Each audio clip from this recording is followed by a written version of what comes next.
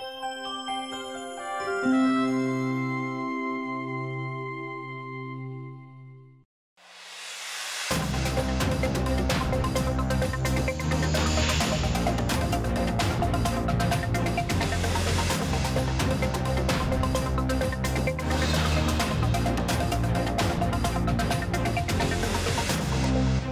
Đây là đài truyền hình SPTN, chúng tôi là Triệu Quyên và Bảo Châu xin trân trọng kính chào quý vị. Xin kính chúc quý vị một ngày thật vui và hạnh phúc. Ngày hôm nay Bảo Châu và Triệu Quyên sẽ được trở lại gửi đến quý vị những tin tức liên quan trên toàn thế giới, Hoa Kỳ, Á Châu và Việt Nam. Trong phần tin lần lượt chúng tôi sẽ gửi đến quý vị những phần tin chính như sau. Tin cho biết liên quan tới bê bối tình dục, hai nhà lập pháp Michigan bị sa thải.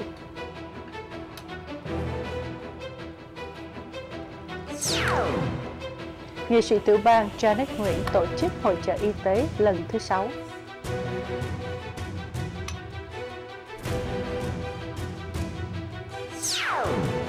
Thưa quý vị, có hơn 1.000 di dân vượt đường trường từ Hungary đến Áo Quốc.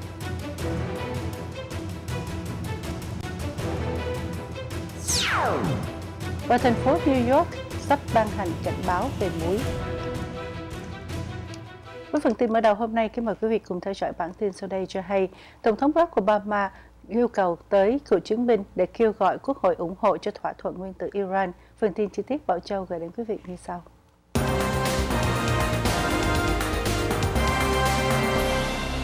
Thưa quý vị, tin từ Washington DC, Tổng thống Barack Obama hôm thứ Năm tranh thủ tình cảm các cựu chiến binh và mẹ các binh sĩ bị thiệt mạng trong khi phục vụ để hỗ trợ thỏa thuận nguyên tử với Iran và kêu gọi Quốc hội bỏ phiếu thuận cho thỏa thuận.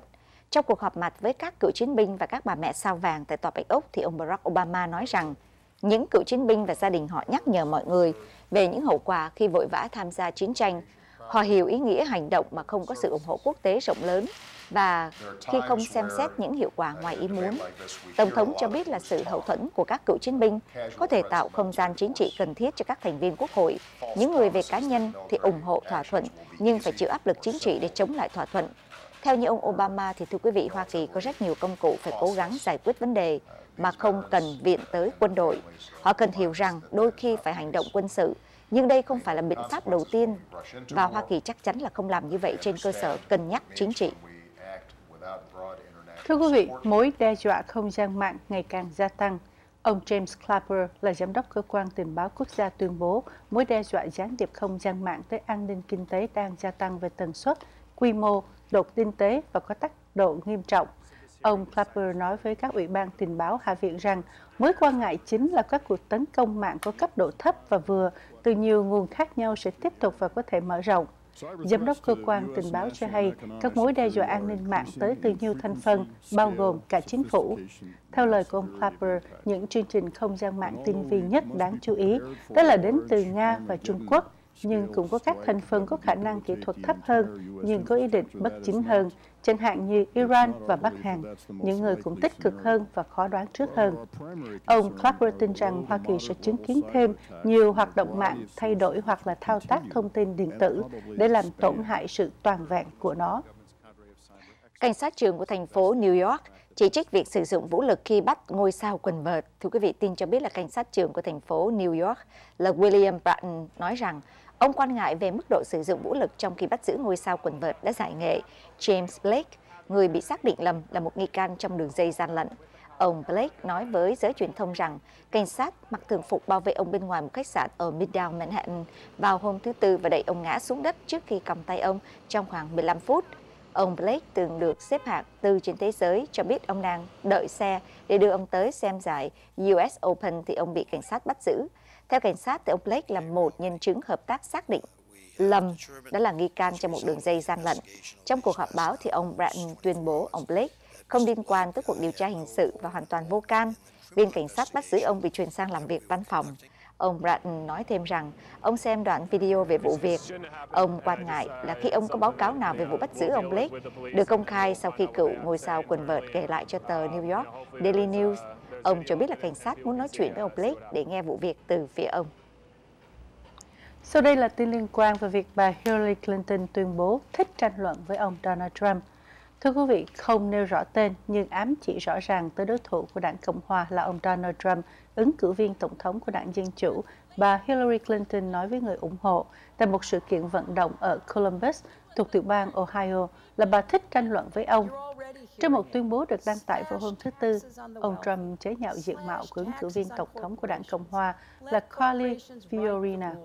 Nhận xét của tỷ phú bất động sản được đăng trong một bài viết trên mạng của tạp chí Rolling Stone nhằm vào người phụ nữ duy nhất trong số các ứng cử viên tổng thống của đảng Cộng Hòa.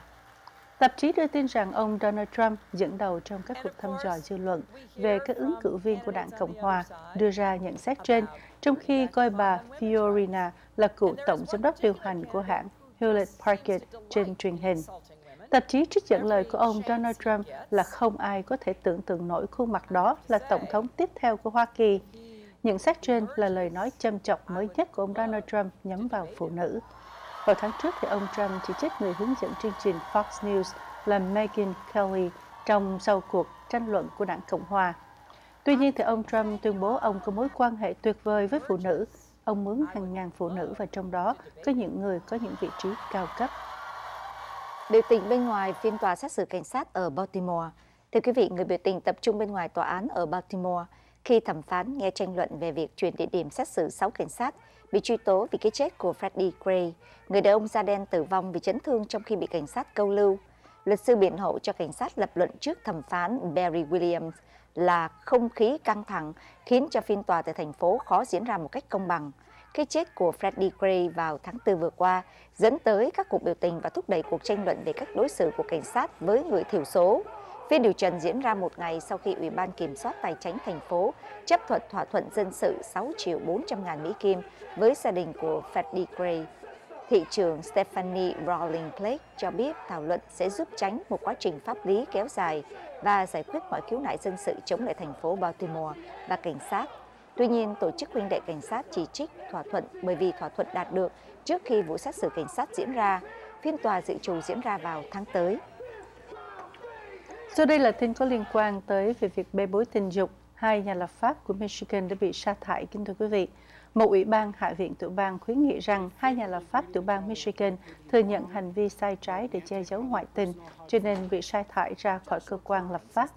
Ủy ban kỷ luật đồng thuận bỏ phiếu kêu gọi sa thải hai dân biểu thuộc đảng Cộng hòa Todd Cursor và Cindy Gamrat. Trong lịch sử tiểu bang Michigan, chỉ mới có ba nhà lập pháp bị sa thải. Khuyến nghị trên này cũng sẽ được chuyển tới Hạ viện để xem xét và cần 2 phần 3 số phiếu để sa thải hai nhà lập pháp này. Ông Cursor, 43 tuổi, thừa nhận đã gửi email giả mạo kỳ ly dị tới các thành viên của đảng Cộng Hòa và nhiều người khác. Tuyên bố là ông bị bắt gặp với một mại dâm nam. Email có mục đích làm cho vụ ngoại tình của ông với bà Graham Grant, 42 tuổi khó tin hơn nếu như bị kẻ hâm dọa vô danh đòi ông từ chức tiết lộ. Bà Gamrat nói với ủy ban rằng bà đã thảo luận âm mưu với ông Cursor nhưng không biết nội dung của email trước khi mà nó được gửi ra. Vụ bê bối bị đem ra ánh sáng từ tháng trước sau khi mà một nhân viên của hai người bị sa thải vào tháng 7. Ông trao cho tờ Detroit News một bản ghi âm ghi lại việc ông Cursor yêu cầu nhân viên này gửi email ra. Theo như cuộc điều tra của Văn phòng Nghiệp vụ Hạ viện, mặc dù người phụ tá từ chối và email không có gì là bất hợp pháp, âm mưu bị coi là phi đạo đức. Trong phiên đầu trần kéo dài hai ngày trong tuần này, thì ông Cursor và bà Cambridge xin lỗi và bị chỉ, chỉ trích khiển khích Thưa quý vị, sau đó thì đã bị khiển trách cũng sẽ giới hạn trong công việc của họ khi mà họ vẫn cho phép họ ở lại nhiệm sở này. Thưa quý vị, đến đây thì cho phép chúng tôi được tạm ngừng và sẽ quay trở lại ngay sau phần thông tin thương mại của đài.